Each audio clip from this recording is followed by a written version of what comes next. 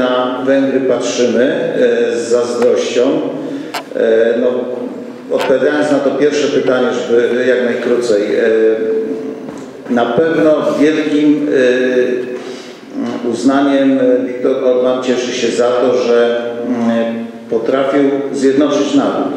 To, co pan profesor określił, że podniósł Węgrów z kolan. Nam na pewno coś takiego jest również potrzebne, zwłaszcza po tych e, ośmiu latach takiej polityki e, prowadzonej na kolanach wobec e, silniejszych e, sąsiadów. Węgry, małe państwo, jednak e, potrafili e, w bardzo trudnych okolicznościach, no chociażby to uzależnienie energetyczne, e, twardo stawiać swoje interesy narodowe na e, pierwszym miejscu. E, z całą pewnością my też powinniśmy to robić. E, Z takich e, wzorców e, bardziej konkretnych do mm, naśladowania można wymienić tutaj oprócz tych banków, supermarketów, bo u nas też się to przewija w naszych postulatach. Kwestia stosunku do Międzynarodowego Funduszu Walutowego. Jak pan profesor zauważył, fundusz na Węgrzech jest już nieobecny. E, Musiał się stamtąd wyprowadzić. U nas jest dokładnie odwrotnie. Nie dość, że fundusz tu jest, to Polska jako jedno z nielicznych państw na świecie korzysta z tak zwanej elastycznej linii kredytowej e, funduszu, co oznacza, że za e, tylko hipotetyczną dostępność do ewentualnych kredytów, których wcale nie potrzebujemy od funduszu, płacimy rocznie kilkadziesiąt milionów dolarów. Przez ostatnie lata uzbierało się tych opłat już e, w, w okolicach miliarda złotych. Tylko za to, że fundusz łaskawie nam, jeśli będziemy chcieli, udzieli takiego kredytu. Dziękuję bardzo. Ja może jeszcze tylko chwilę rozpoczęcie. Ja wszystkim cieszę się, że przyszli też moi dawni znajomi i taki wspólnik w walce przeciwko germanizacji, profesor Tadeusz Marczak, który też kandyduje do Sejmu i jest ogromnie zasłużony. Jest profesor Józef Osada, także y, widzę też wielu innych y, z starego grona przyjaciół, a chciałbym tu przy okazji y, jeszcze nawiązując do tych uwag o wzorach węgierskich zacytować głównego ekonomistę z KOK Janusza Szewczaka, który też kandyduje do Sejmu, na Podlasiu. Reformy węgierskie są niesłychanie mądre i przemyślane. Uważam, że polska opozycja powinna zorganizować wyjazd studyjny na Węgry, żeby się przygotować do rządzenia w ciężkich czasach, żeby zobaczyć, jak to się robi. Tam są gotowe projekty ustaw, rozwiązań, rozporządzeń. To trzeba ściągnąć od Węgrów, bo inaczej nikt sobie nie poradzi z tą stajnią. Dziękuję. A teraz ogłaszamy 10-minutową przerwę. Po przerwie Jak sytuacja wygląda na Węgrzech? Tak. Czy, y, czy na Węgrzech też takie są problemy z sądami jak u nas? Bo ja właśnie, tak jak nie wiem, czy Państwo usłyszeli, jestem ofiarą zwyrodnienia polskich sądów. Chciałam się dowiedzieć, czy, czy jak wygląda sprawa.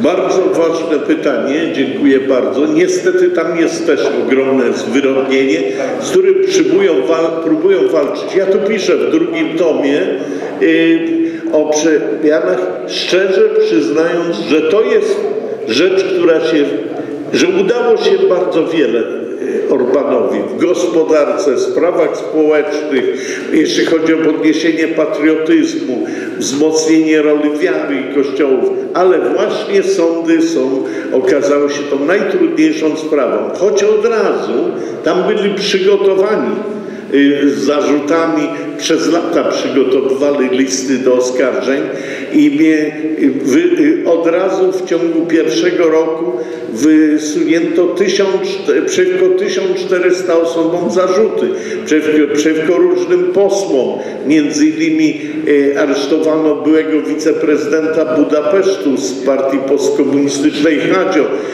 Kilkakrotnie oskarżano i pozbawiono immunitetu byłego premiera Dziurczania, ale ten sprytnie zaciera ślady. Największe problemy są w sądownictwie. Dlaczego? Bo ciągle są starzy sędziowie, postkomunistyczni oni robią wszystko raczej, żeby chronić tych prominentów i ciągle są tam jakieś dziwne zjawiska, wycofanie się głównego świadka, różnego typu manipulacje i tutaj co zrobił Orban? Od razu w 2011 roku y, wystąpił z takim pomysłem, żeby ograniczyć wiek sędziowski 70 lat na 62. To ograniczenie wieku miał na celu odsunięcie setek tych starych komunistycznych sędziów. I muszę Państwu powiedzieć, tu natrafił na szczególny opór y, Unii Europejskiej, gdzie Państwo jako już te gospodarcze też go atakowali, też różnego rodzaju. Ale tu Unia zablokowała to, choć niektórych sędziów udało się zmienić, ale mówię, jest tu największy problem, jest właśnie sprawami sprawiedliwości i tu myślę, że też będzie miał PiS i w ogóle patriotyczne najwięcej problemów, a jest to ogromnie potrzebne, bo ja uważam i chyba wszyscy się zgodzimy, że w Polsce Najbardziej katastrofalny jest wymiar sprawiedliwości. Pod każdym względem, chyba się zgodzimy. I tu musi być bardzo mocne uderzenie. Ale może jak u nas, a nie dodałem jednej rzeczy, jeśli u nas wygrają siły patriotyczne, no to już Węgry nie będą osamotnione, będziemy wspólnie działać. A poza tym ja widzę nadzieję przy tej sprawie imigrantów. To oczywiście nie mówię o zdradzie tej Kopacz, bo to tam, ale, to, ale to zaszkodziła nam przeciwko krajom wyszehradzkim, ale liczę na współdziałanie z Czechami, Słowacją i Rumunią też. A Rumunia jest wzorcem, ja jestem zaskoczony, patrzmy na Rumunię. Tam aresztowano setki osób prominentów, teraz przeciwko premierowi postkomuniście toczy się sprawa. Także to jest u nas się prawie nie pisze. Znów, tu już zupełnie. Y, a na, w Rumunii dzieją się, jeśli chodzi o rozliczenia, ogromnie ciekawe sprawy. Jeszcze jeden kraj polecam. Islandię, która już pięć lat temu odmówiła płacenia długów, w które wprowadziły je wczesne rządy. I nawet jeszcze wobec tych różnych premierów też wysunięto oskarżenie. A na Węgrzech chciano najpierw, i było wysuwane projekty, postawić przed sąd trzech premierów postkomunistycznych za zadłużenie kraju. No niestety to nie wyszło. Ale mówię, to jest najtrudniejszy problem niestety. Y, jedyny, który się z tych ważnych spraw nie w pełni udało rozwiązać. Proszę bardzo. Nim jeszcze ktoś się zdecyduje na zadanie pytania, to jeszcze jedno, jedno pytanie, które sali za momencik, dobrze, e, które e, proszono, żeby panu profesorowi zadać. E, mianowicie, jakie istotne zmiany nastąpiły w konstytucji węgierskiej, które byłyby również istotne dla polskiej zmiany w konstytucji, jeśli by można było ją zmienić. E, Znowu przykład zmiany konstytucji węgierskiej pod kątem tego, co by się przydało u nas w Polsce. Tak. Y, no więc przede wszystkim już preambuła konstytucji, która wywołała wściekłość lewaków w różnych krajach Europy i w Stanach Zjednoczonych, bo to jest najbardziej chrześcijańsko-patriotyczna konstytucja w świecie. I zaczyna się od wyrażenia dumy z roli, którą odegrały Węgry jako przedmurze chrześcijaństwa, zasług wkładu Węgrów do nauki kultury świata. Jest to wspaniały taki y, y, po prostu podkreślenie łączności z historią, y, podkreślenie też roli wiary. Druga rzecz, bardzo ważna, tam było zawarte rozliczenie z komunizmem. Uznano partię komunistyczną za szkodliwą i zdradziecką, co uderzało też w jej następców obecnych postkomunistów, tak jakby u nas y, potępiono PZPR i uderzono w ten sposób również w SLD. To też lewaków świata obruszyło oczywiście. Y, za, wystąpiono, zagwarantowano tę sprawę obrony węgierskiej ziemi zapisano, że nie wolno sprowadzać do Węgier w konstytucji produktów GMO, czyli tej sztucznej żywności. I jak jest to w konstytucji zapisane dwoma trzecimi głosów, to nie można tego obalić. Y, Zapisano forint, że forint jest y, walutą Węgier, co osłabia jakiekolwiek możliwości y, przy, przyjęcia euro. Ogromnie mocno podkreślono związki Węgrów, Węgier, kraju z, z mniejszościami węgierskimi, to jest ponad 3,5 miliona. Y, W, w Rumunii, w Słowacji, y, w, w Jugosławii, to znaczy już nie w Jugosławii, w Serbii, Wojwodina i na Ukrainie. Y, Więc myślę, że to są, no i przede wszystkim bardzo mocno akcentowano sprawę obrony narodowych interesów.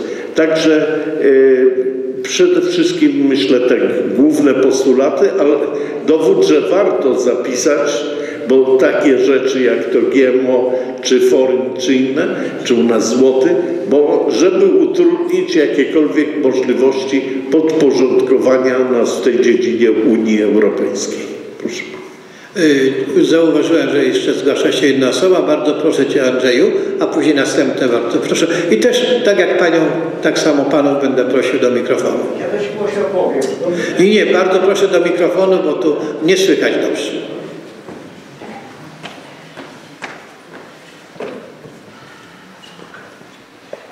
E, Przede wszystkim chciałem podziękować za możliwość e, tego pytania.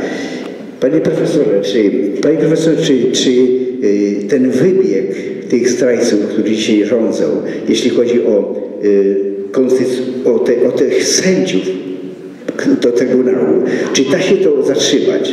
Czy to jest możliwe, to zatrzymanie? Dziękuję. Tak, no ja, y, to wybieg był na pewno, to znaczy proszę Państwa, to co Unia Europejska robi, czy tej czołowi luminarze, przywódcy, no tacy jak Barroso, były maoista w młodości, ta pani y, Włoszka, to jest z kolei z młodzieżówki komunistycznej, Schulz, facet, y, który nie zdał matury, niegdyś alkoholik, pieniacz, który nam groził.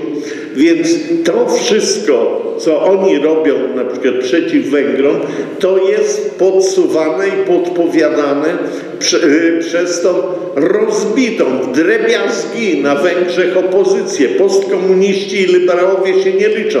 Partia, ich siostrzana partia Unii Wolności, to mówię z satysfakcją opisywałam Unia Demokratyczna czy Platforma, rozpadła się zupełnie. Dziesięciu kolejnych przywódców występowało z tej partii, bo były tyle oskarżeń o złodziejstwo, no między innymi dlatego o niej nie pisano, że taka złodziejska partia to siostrzana wobec Unii Demokratycznej, wstyd było się przyznawać. Więc ta, tamci mają nikłe poparcie, no i ten premier Dziurczań, były premier, jest najbardziej znienawidzoną y, postacią na Węgrzech.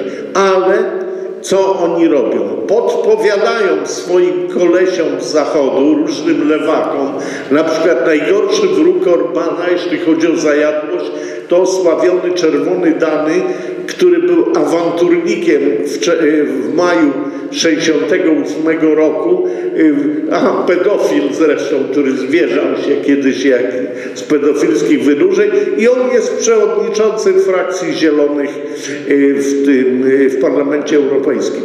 I Tamci żyją tymi podpowiedziami, co jest najgroźniejsze i dlatego tak szczególnie to Unia, bo tam, że tam co blokuje, to ci nie mają już nic do powiedzenia. Głównym rywalem, i to może jest korzystne dla y, y, Orbana, to jest partia prawicowa, taka w stylu Liga Polskich Rodzin. Y, Ona ma 20 parę procent, Jobbik, a komuni, postkomuniści, liberały się nie liczą. Natomiast liczą się jako donosiciele na Węgry. I w tym jest szereg takich autorytetów w stylu węgierskiego. Wajdy, Janczo, który już nie żyje, był reżyser, y, Tomasz Bauer, y, czołowy ekonomista, zresztą syn Awosza, bezpieczniaka, który torturował ludzi. I oni, Konrad, bardzo znany pisarz, były prezes węgierskiego penklubu, i oni donoszą na Węgry, tak jak donosili niejednokrotnie na, na Polskę, Michnik, na zagranicę, Gieremek, także, także Mazowiecki i, i to jest wszystkim groźba. Natomiast ja liczę, dlatego mówię, największa szansa jest to, że jeśli w, taka, że w Polsce wygrają siły patriotyczne, to będzie nas więcej i będzie to wsparcie. Węgry ciągle szukały, Orban chciał od początku y, wsparcia polskiego. Jeśli będzie kilka krajów, które będą walczyć o to samo, to może przełamiemy i te blokady, a to jest najważniejsza sprawa, ta kwestia wymiaru sprawiedliwości. Proszę bardzo. Y, Teraz proszę pan Tomasz Małek.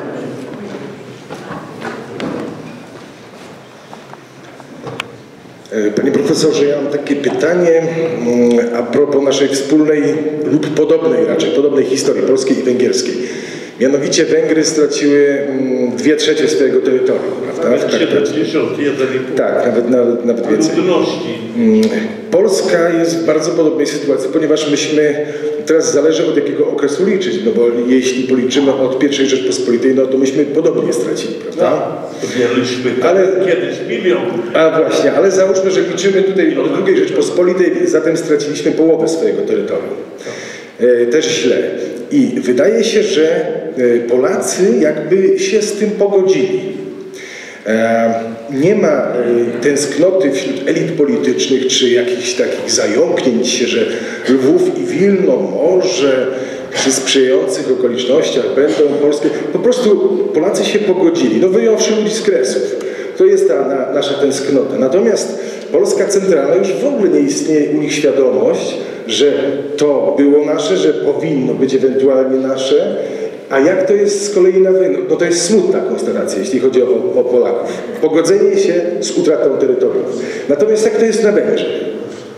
Y, Tak, y, proszę pana, to jest, no na przykład partia Jobbik w ogóle występuje otwarcie y, na rzecz przywrócenia dawnych terytoriów i tak dalej, tylko jest kwestia real, realizmu.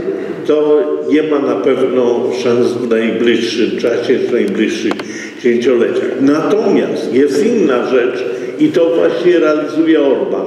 Walka o zapewnienie mniejszościom węgierskim poza granicami kraju, tym kilka i pół milionom Węgrów, maksymalnie wielkich praw. Czego nasze władze nic nie robią. No co nasze władze zrobiły chociażby, jeśli chodzi o mniejszość polską w Niemczech? Dwa miliony osób nieuznanych za mniejszość. To już zdrada Skubiszewskiego, starego agenta, którego szantażowano i jadł z ręki Niemcom.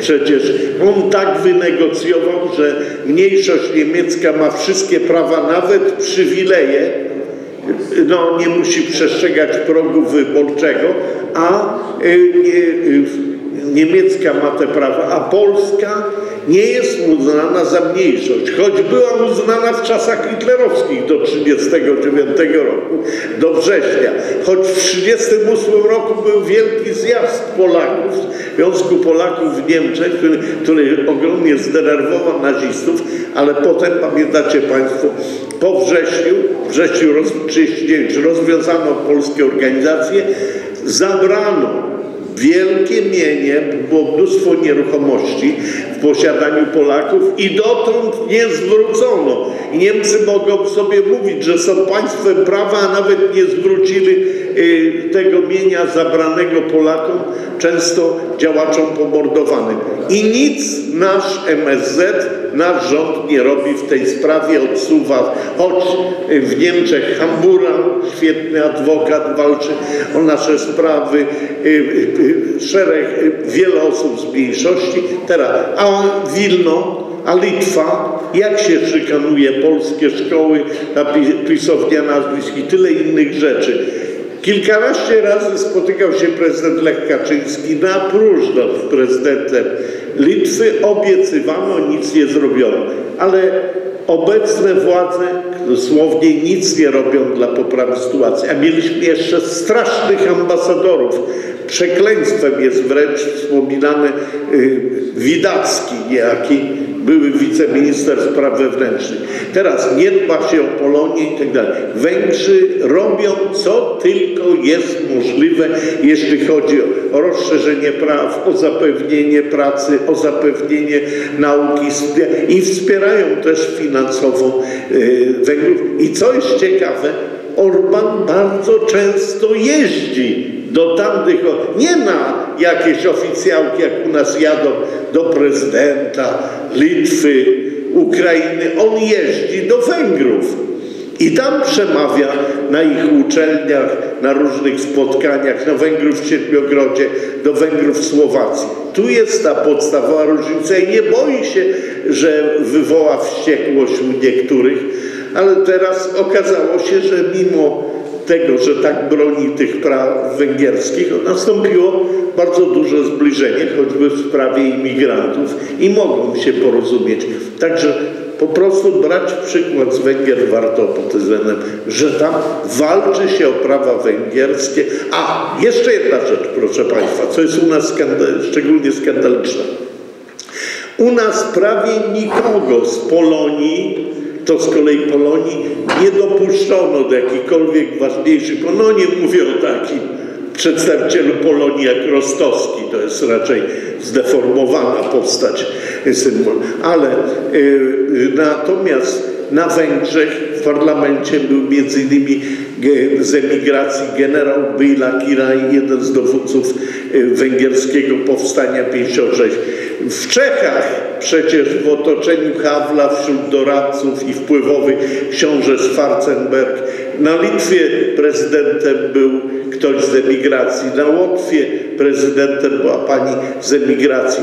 U nas wyraźnie blokowano nawet przyjazd tych wybitnych postaci z emigracji, bo nic, e, chociaż było tam wielu też świetnych ekonomistów, doradców bankowych, innych inżynierów, także to jest, a właśnie wystąpiłem i proszę Państwa, jest ten blog Jerzego Roberta Nowaka w internecie, polecam, tam jest mój list do prezydenta Andrzeja Dudy, który został już poparty na szeregu witrynach, tam między innymi Wirtualna Polska, Lex Jones, Polsko Budź Kraków Niezależny, y, Akademicki Klub Obywatelski imienia w Poznaniu, świetne stowarzyszenie intelektualne.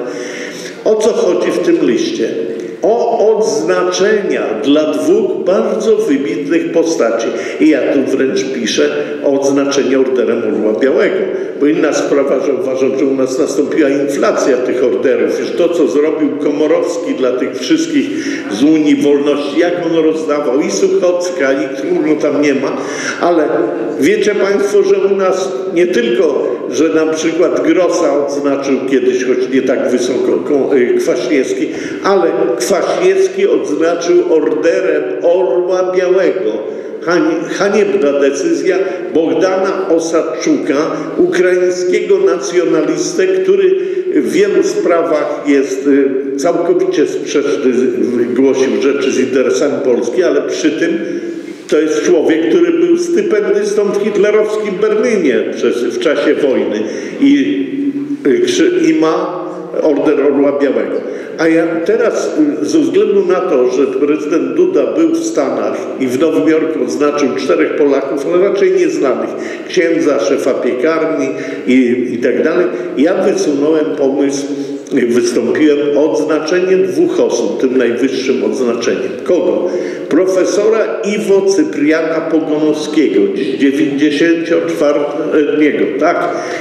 Wspaniała postać, obrońca polskości i prawdy o Polsce. Muszę tu chwilę powiedzieć, proszę Państwa, ja się nim dlatego zachwycam, bo ja byłem zawsze takim humanistą, trzeba było mnie ratować na maturze z tej matmy, tak naprawdę jest z wzorów chemicznych, to jest zupełna noga, a i była historia, literatura. A co zrobił Pogolowski? On był znakomitym, był, jest uczonym, jeśli chodzi o wiertnic, wiertnictwo oceaniczne, 48 patentów wykładał na Politechnice i w pewnej chwili na początku lat 80. bardzo się zdenerwował, bo zobaczył, że jego koledzy wykładowcy i studenci nie mają zielonego pojęcia o Polsce albo głoszą o polskim antysemityzmie, rasizmie i tak dalej. On mi dzwonił, on telefonował, a jeszcze jedno, czym podziwiam. Ten człowiek jest chory na chorobę Hajnego Medina od ponad 50 lat, dlatego nie może przyjeżdżać do Polski. I gdy jego żona wyjeżdża, to dzwonił do mnie półtora godzinne rozmowy telefoniczne, jakby z nudów. I, ten, i on uz, uznał, że, że musi się przerzucić na sprawy humanistyczne. Wydał kilka wydań słowników polsko-angielskiego, sto kilkadziesiąt tysięcy jakichś haseł. Wydał atlasy historyczne Polski, po, kult, y, historię polskiej kultury i to w wielkim. Wydał bardzo ważną książkę Jews in Poland, Żydzi w Polsce w dwóch wydaniach przedstawiającą racje polskie, polskie tolerancje inne i nie milczał też o takich sprawach jak y, pogromy Polaków na Kresach w 1939 roku przez żydowskie bojówki komunistyczne. Ale najbardziej go podziwiam, że udało mu się do wstępu uzyskać wstęp słynnego politologa y, y, amerykańskiego, żydowskiego pochodzenia Richarda Pipesa. I właśnie Pogonowski grobił Grossa. No, o Karskim też miał swoje zdanie, to mogę potem powiedzieć też. I, te, I dlaczego? I on jest uhonorowany różnymi odznaczeniami emigracyjnymi, a w Polsce dostał tylko społeczne odznaczenie Mater Polonia. Przez 26 lat trzeciej RP o nim nie pomyślano. A druga postać, o którą wystąpiłem, oj szkoda, że nie wziąłem od Ciebie dzisiaj tej książki, nie spodziewałem się pytania.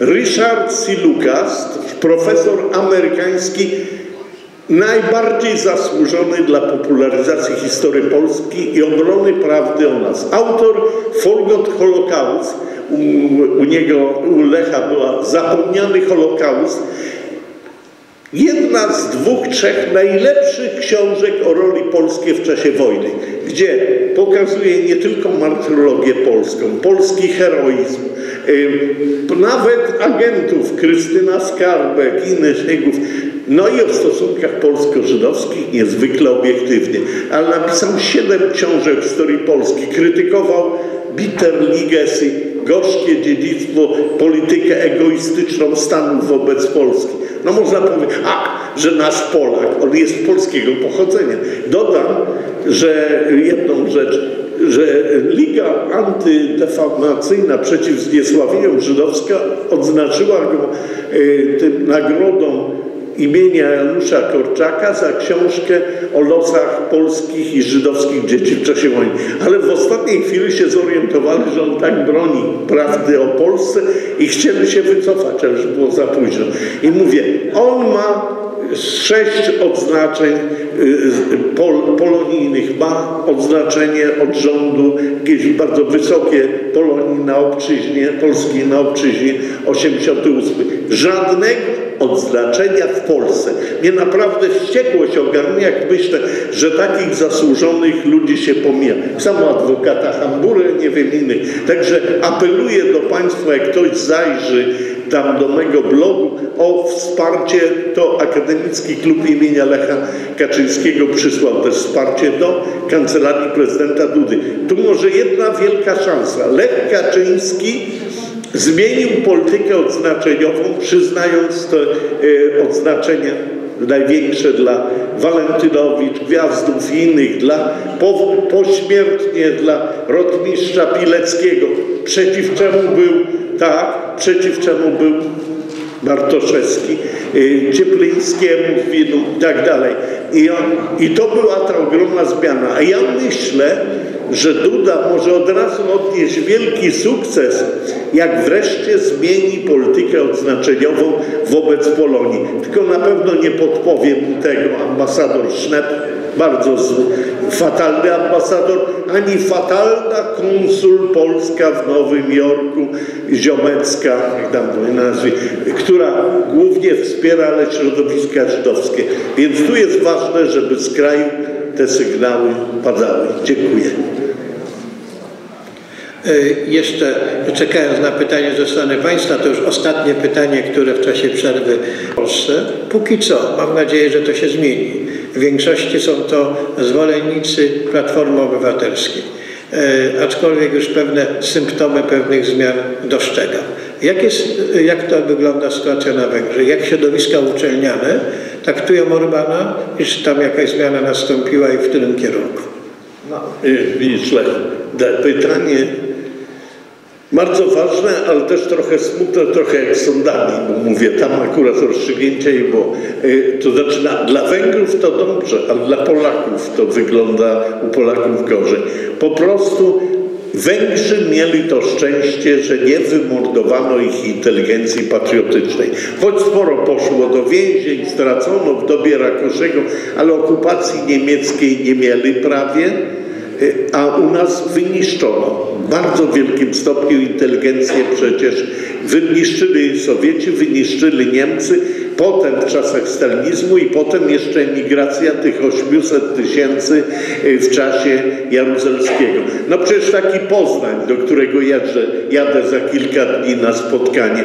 Przecież Poznań był centrum myśli narodowej, polskiej, patriotycznej, a teraz jest centrum lemmingów, choć się to zmienia. Z innymi wspieram tam jedynkę posła Dziubę, z którym się przyjaźnimy. Jeden z jedna z najciekawszych postaci w PiSie, znam go od wielu lat. I już o mało co, gdyby go lepiej poparto, nie wszedł do drugiej tury przy wyborach samorządowych, gdzie mógł wygrać. Więc i w Poznaniu się to zmienia. Ale mówię, my płacimy za to wyrżnięcie inteligencji.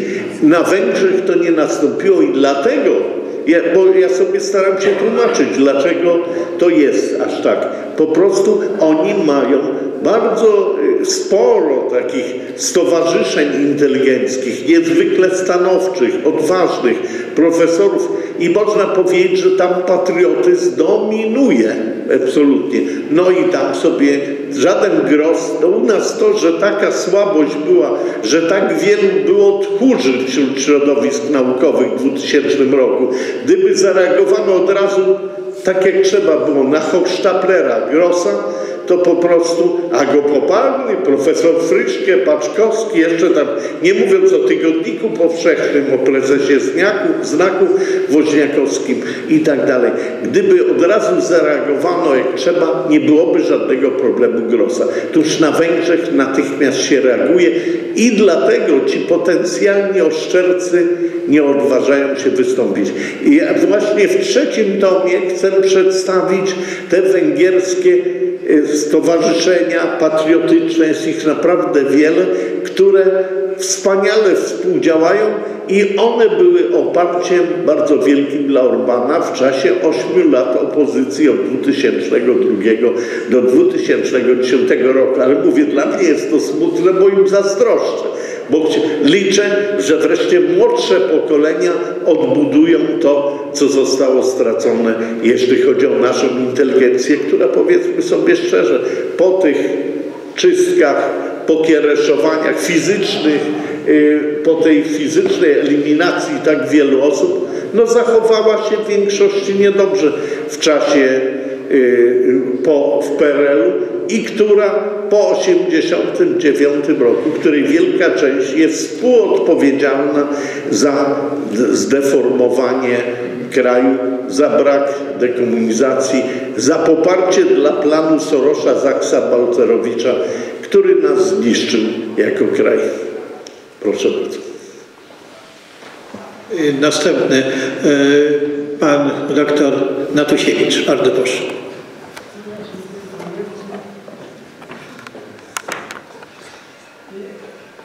Ten wątek, o którym pan profesor powiedział, że inteligencja nie została wymordowana, więc chciałem zwrócić uwagę na takie elementy.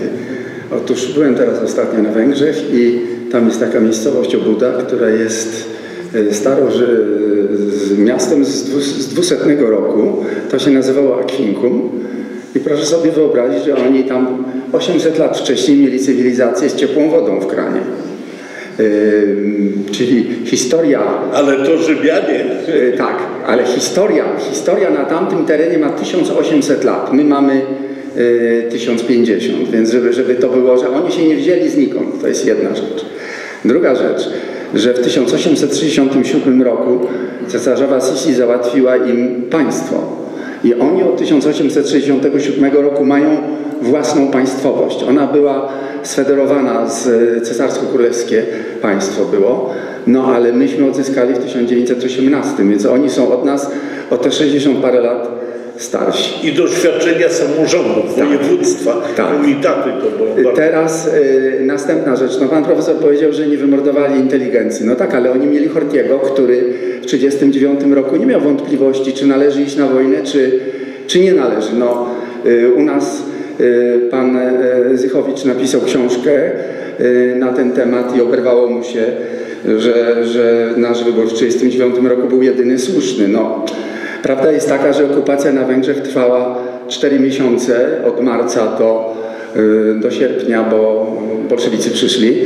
Y, Co prawda w ciągu tych czterech miesięcy y, Eichmann wy- wywiózł 400 tysięcy Żydów, ale 70 tysięcy Żydów Buda, budapesztańskich ocalało. Teraz proszę sobie wyobrazić, że Budapeszt jest jedynym miastem w Europie, w którym są cztery synagogi, czterech obrządków.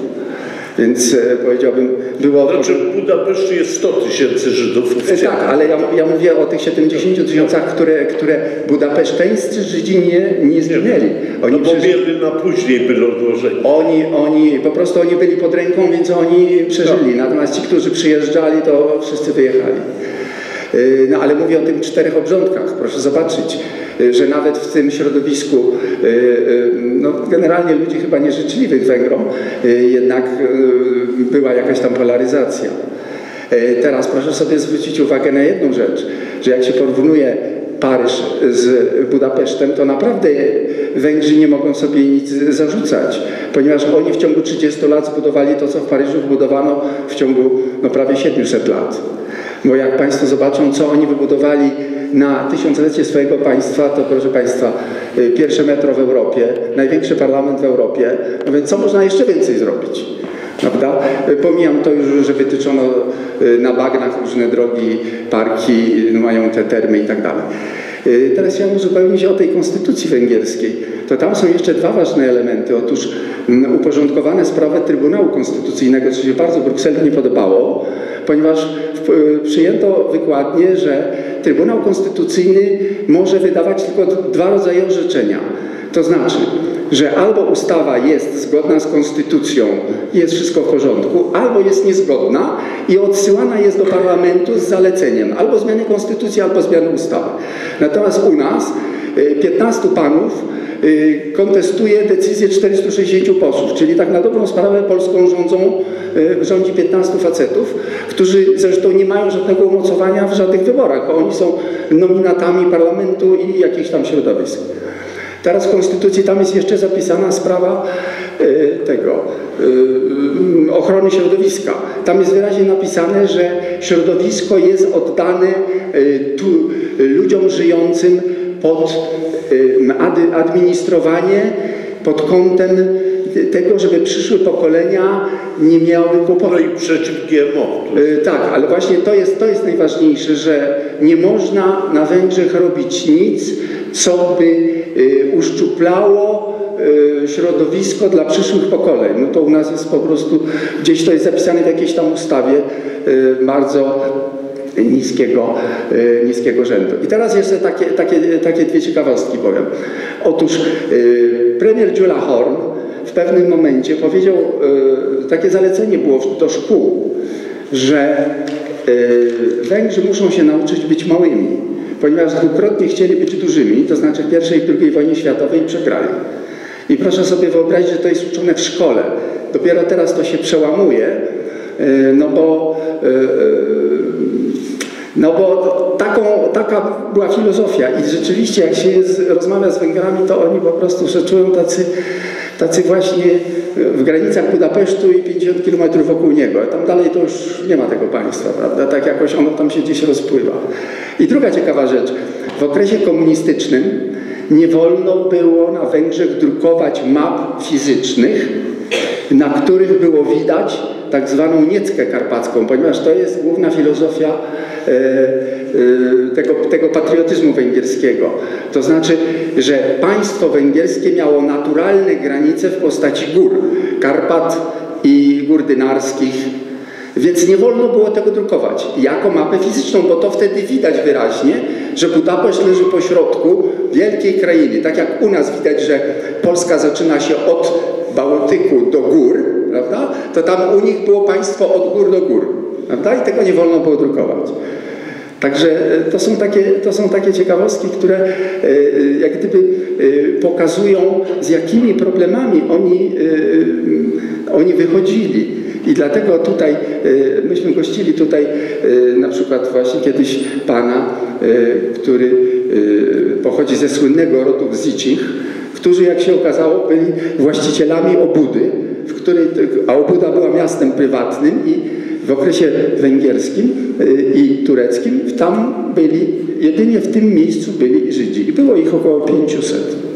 Natomiast potem y, w XIX wieku y, mieli prawo osiedlenia się w Peszcie i było ich 2000, po czym łapówkami doprowadzili do tego, że ich było 5000, no a teraz jest tak, jak pan profesor powiedział.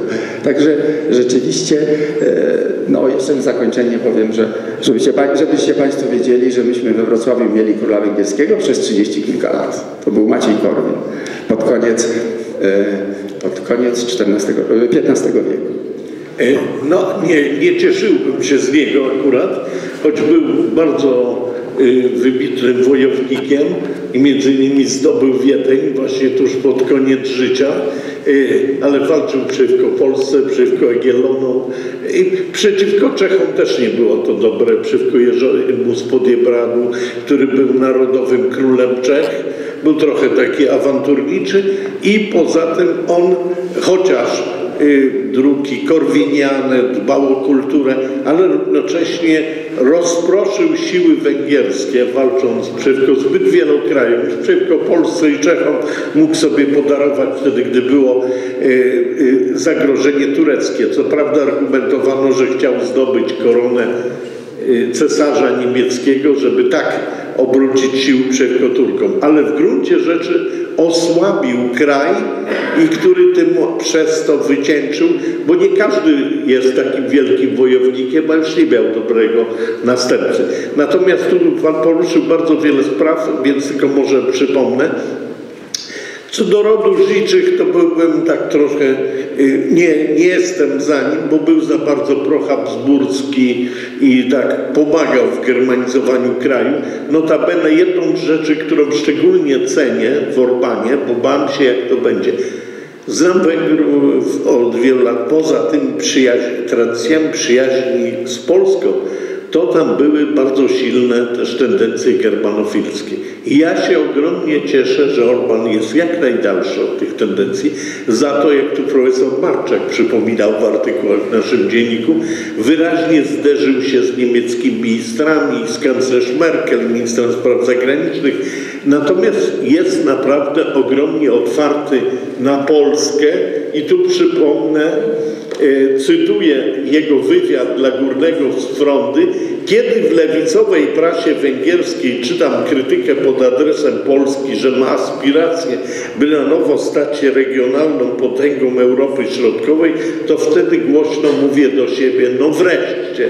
I właśnie z takim Orbanem warto współdziałać.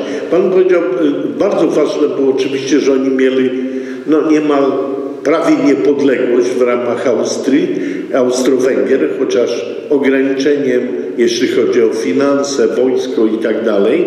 Natomiast bardzo to było dobre, że mieli samorządy wojewódzkie bardzo rozwinięte, komitaty i tam tylko Węgrzy decydowali. Y, Co do Trybunału Konstytucyjnego, to tu jest rzeczywiście bardzo ważne. No jedna z tych reform, ja o nich piszę, że oni, Trybunał próbował blokować reformy, między innymi gospodarcze, ale nie tylko, nawet zablokować chciał odprawy, to opodatkowanie odpraw dla prezesów na 98%.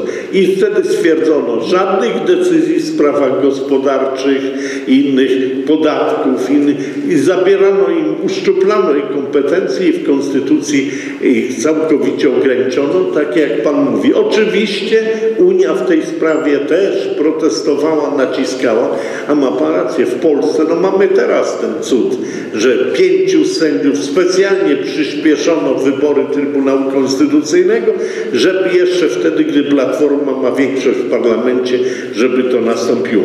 Tam, no ja o wszystkim mówiłem, o małżeństwo, a zapis w Konstytucji, że małżeństwo to jest związek mężczyzny i kobiety. Jak to się nie podobało tym przeróżnym lewakom. Teraz to, że oni mają to patriotyczne, tak silne środowiska, to, że jak ktoś się wygłupi, taki węgierski odpowiednik Grossa i tak dalej, to dostaje po łapach, już się zniechęcili. Podam dwa przykłady.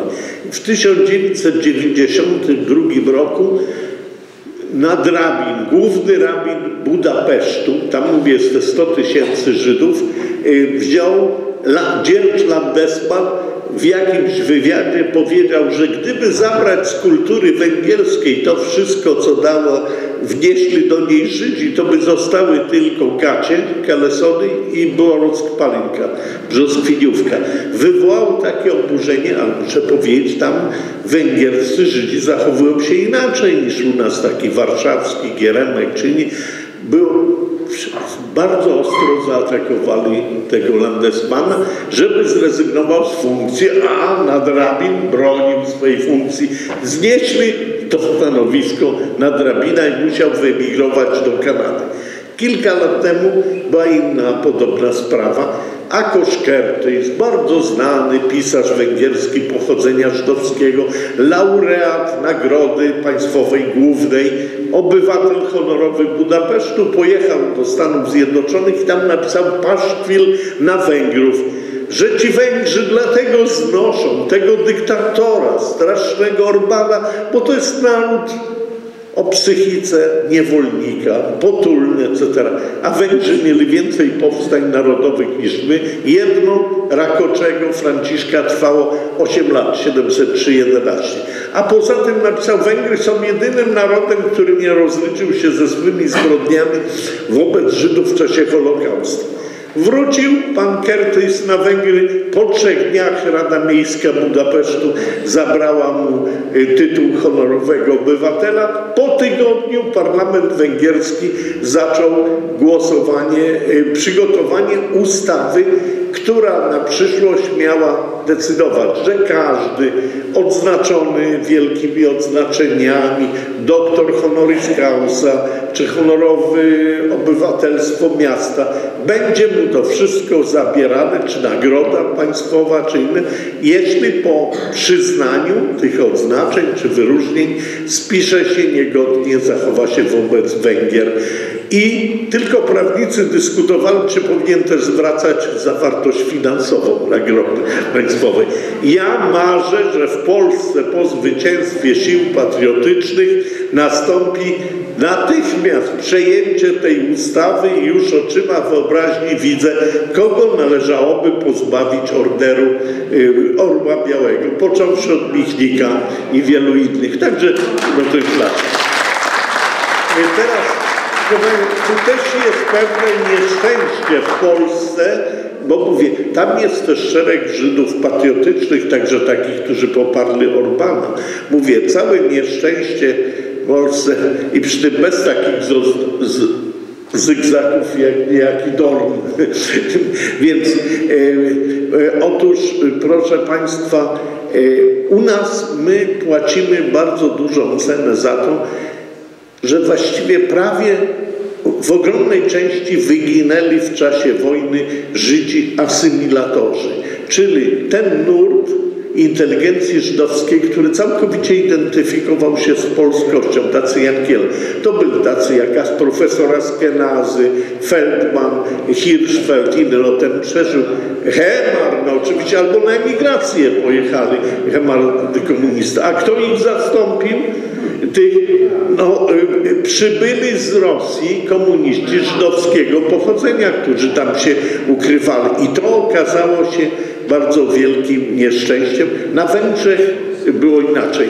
Jeszcze, bo tu było tyle spraw. No, warto przy kościołach.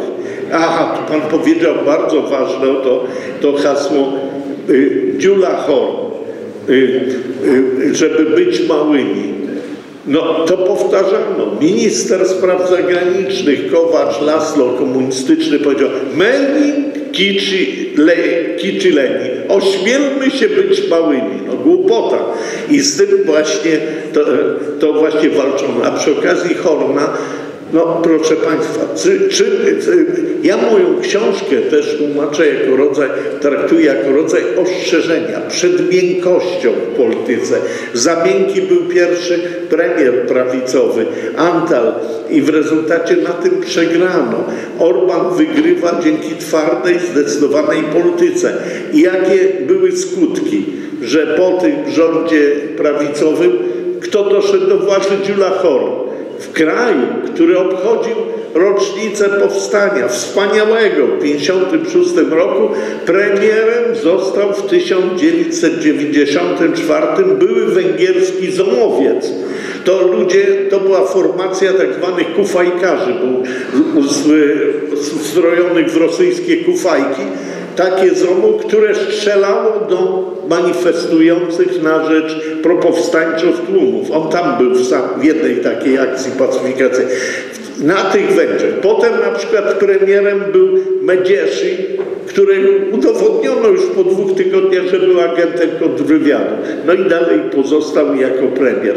Więc były i takie rzeczy. Kościoły. Tu, dlaczego kościoły, bo tu chciałbym od razu w trzecim tomie jeszcze to szerzej opiszę, poparły tak zdecydowanie Orbana, bo one dostały o wiele mocniej w skórę niż Kościół katolicki w Polsce. E, e, proszę Państwa, tu nie ma porównania. To nie tylko to, że Wyszyński miał resztę, to nie było to, co Minczewski, który był torturowany, e, bity i tak dalej, zmuszony. Ale tam na przykład zakazano działalności zakonów i tysiące zakonnic i zakonników posłano do ciężkich obozów pracy.